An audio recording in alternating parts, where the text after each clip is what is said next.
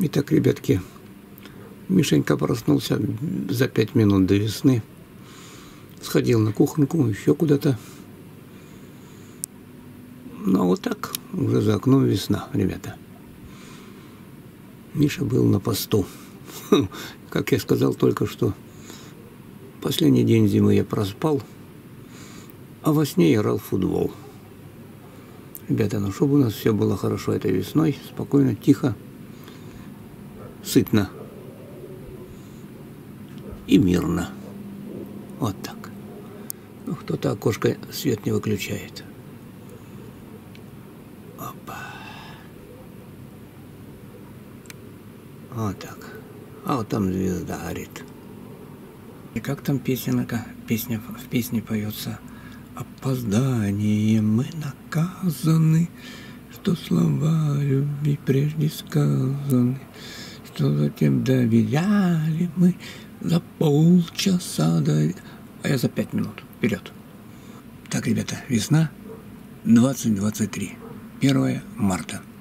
Не знаю, как кто. Я помню 1 марта 95 -го года. Вспоминайте. Я лег, а потом думаю, нет, надо встать. Поумничать.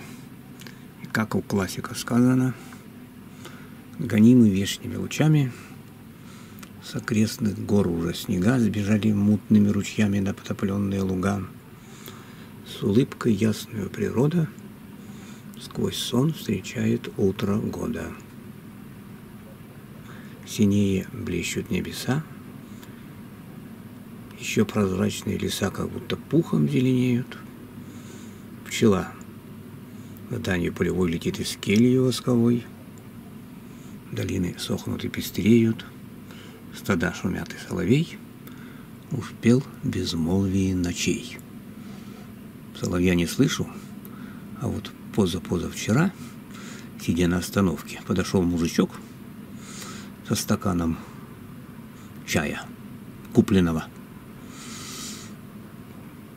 А рядом с ним уже весна. Пчела вилась. Ну, прилетела за сахаром, чайком. Ну, короче, пожелания здоровья, удачи, мира и чего еще. Сладкой жизни не обещаю. Ну, чтоб хотя бы не горькая была. Вот так. О, это все Миша Потапенко. Терпите его пока. Вот так, вот так, вот так. Никаких комет, никаких ракет. Всем здоровья.